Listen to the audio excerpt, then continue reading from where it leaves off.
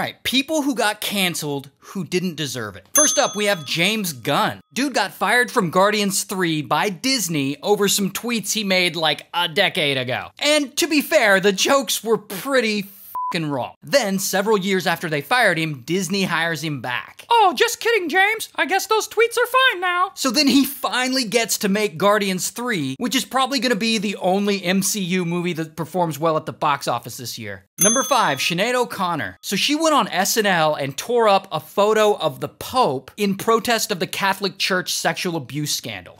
Fight the real enemy. And the Catholic Church sexual abuse thing wasn't very public yet. So people got mad and they like canceled her. And unfortunately, because of that, her career took an immediate nosedive. But listen to this the week after she hosted SNL, Joe Pesci hosted SNL the next week. And in his monologue, because he's very Catholic, he pasted a picture of the Pope back together. And he threatened to smack her if she ever did it again. She was very lucky it wasn't my show.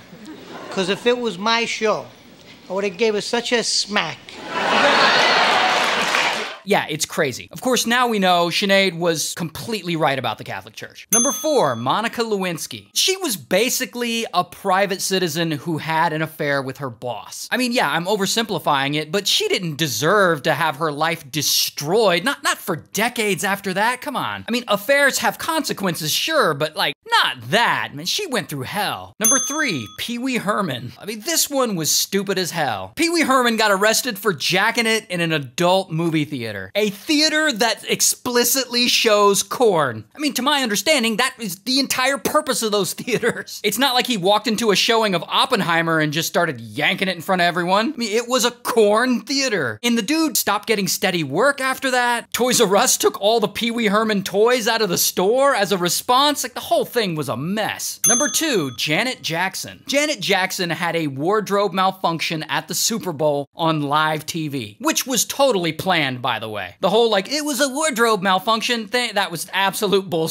It was 100% planned. But Janet Jackson's titty out at the Super Bowl had every Midwestern grandma clutching her pearls. Her music and music videos were blacklisted by Viacom, who owns MTV. So, no more music videos for Janet Jackson. She got uninvited to the Grammys where she was supposed to perform. And, like, her career just never recovered after that. Meanwhile, Timberlake gets away with, like, zero punishment. And coming in at number one, the Dixie Chicks. They got canceled because they criticized President George W. Bush over the war in Iraq in 2000. 2003. The same Iraq war that everyone would come to criticize just a few years later. They were blacklisted by radio stations, people burned their CDs in protest, and they supposedly got a lot of death threats over it. So basically, they got canceled by a bunch of hillbillies because they had a correct opinion a few years too early.